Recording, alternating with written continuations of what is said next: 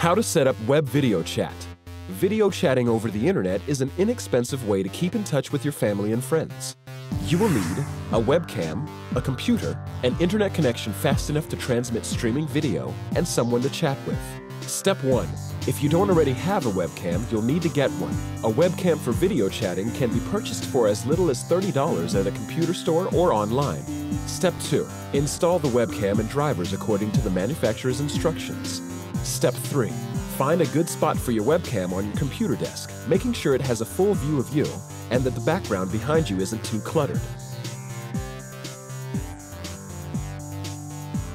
Step 4.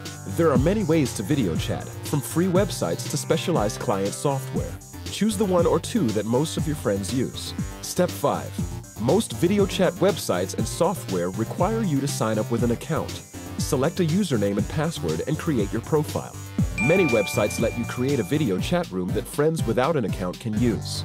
Step 6. Test the speed of your internet connection to make sure it's fast enough for video chat. Most chat clients include instructions on how to do so.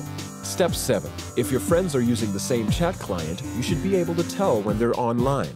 If they're available, ask one of them to start chatting.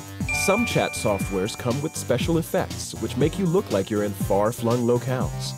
Step 8. When you're done chatting, be sure to close any chat programs you've been using and turn off your camera. This saves money on electricity and helps protect your privacy. Did you know the first webcam, invented in 1991, was used to take pictures of a coffee pot?